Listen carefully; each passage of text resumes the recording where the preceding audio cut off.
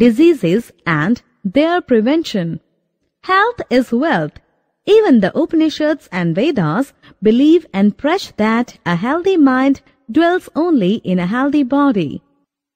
A person who is healthy will always be cheerful and live long. In today's world, very few people are blessed with good health.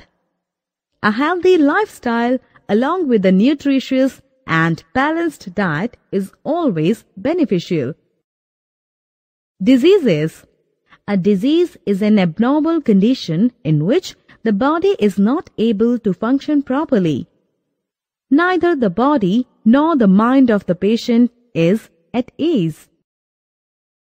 Causes of diseases Causes Deficiency of nutrients Hereditary factors Unhealthy lifestyle Entry of pathogens Deficiency of nutrients A person should take the right kind of food in adequate quantities to remain healthy. Deficiency of any of the nutrients can be harmful. The table below shows some of the diseases caused by deficiency of nutrients. Nutrients, deficiency diseases, vitamin A, night blindness, vitamin B, beriberi, vitamin C, scurvy, vitamin D, rickets, iodine, goiter, iron, anemia, proteins, kwashiorkor, hereditary factors. Hereditary diseases are passed on from one generation to the next. For example, diabetes, thyroid, hemophilia, etc. Unhealthy lifestyle, eating excess of junk food and leading a sedentary lifestyle may lead to obesity, diabetes, arthritis, heart diseases, etc. People who smoke are prone to cancer and heart diseases. Entry of pathogens. Pathogens are disease-causing germs. They are so small that they can only be seen under a microscope. Hence, they are also called microbes. There are mainly four kinds of pathogens which cause diseases. They are given below.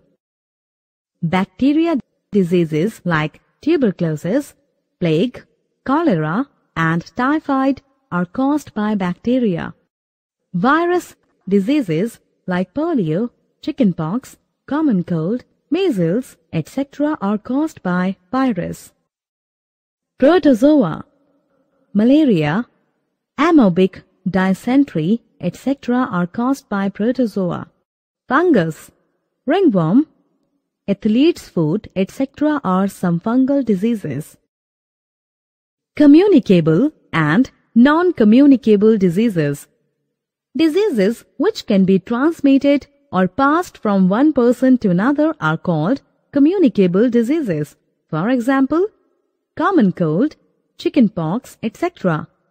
They are also known as contagious or infectious diseases.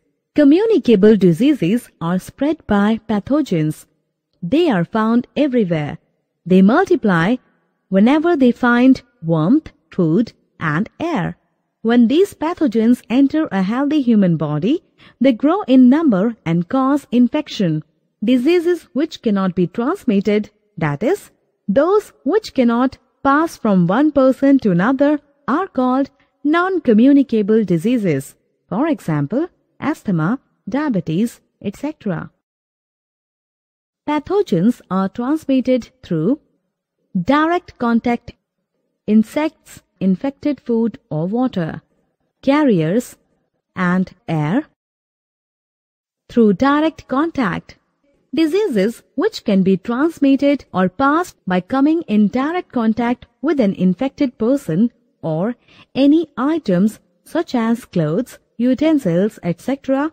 that he has used. Some diseases such as measles, ringworm, chickenpox, conjunctivitis and other skin diseases are spread through direct contact. Through air. Diseases like cough, cold, influenza, diphtheria, tuberculosis, pneumonia, etc. spread through the saliva of the patient. A sick person passes these germs in the air while speaking, laughing, sneezing, spitting or coughing. Through infected food or water, diseases like typhoid, cholera, diarrhea, polio, jaundice, etc.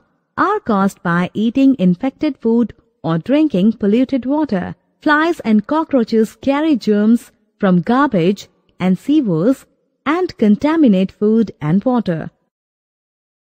Through insects or pests, malaria, dengue, plague, kala azar and yellow fever are caused by insects like mosquitoes, bugs and fleas. Through carriers, some healthy persons carry germs of diseases like typhoid, cholera, dysentery and smallpox. They themselves do not suffer from these diseases but pass them to other people. The germs of such diseases are spread through mosquito bite. Therefore, these persons are called carriers. Malaria Malaria is spread by the bite of a female Anopheles mosquito which carries the protozoa Plasmodium. When this parasite enters the human body through bite of an infected mosquito, it causes infection leading to the loss of red blood cells. Symptoms are fever, flu, chills, headache, muscle ache, tiredness, nausea, vomit, and diarrhea. Children below the age of 5 years are more prone to risk. Precautions Spraying insecticides or disinfectant. Using mosquito nets, insect repellents in the rooms. Mosquito control measures like drainage of stagnant water which can become a breeding ground for mosquitoes. Dengue Dengue is caused by a virus. It is common during rainy season. Symptoms are high fever, headache, joint and muscle pain, vomiting, and rashes. Patients take several weeks to recover. Precautions Use insect repellent. Wear clothes that cover your arms, legs, and feet. Keep shut unscreened doors and windows. Maintain a clean environment. Water tanks and containers should be kept covered. Use mosquito nets. Spread of communicable diseases can be prevented by following some simple measures. Maintain personal hygiene. Keep your surroundings clean. Use a disinfectant to clean the floor of the house. Rooms should be well ventilated allowing plenty of sunlight to enter.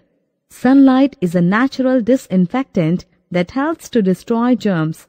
Food, water and milk should always be kept covered in clean containers and stored well. Children suffering from any communicable disease should stay away from school till they have recovered fully. Mosquito repellents or mosquito nets should be used. Always cover your mouth with clean handkerchief while coughing or sneezing. Vaccination Vaccination is a way of protecting ourselves from some diseases like polio, diphtheria, tetanus, cholera, typhoid, measles, mumps, hepatitis, etc. Vaccination gives us immunity against these diseases.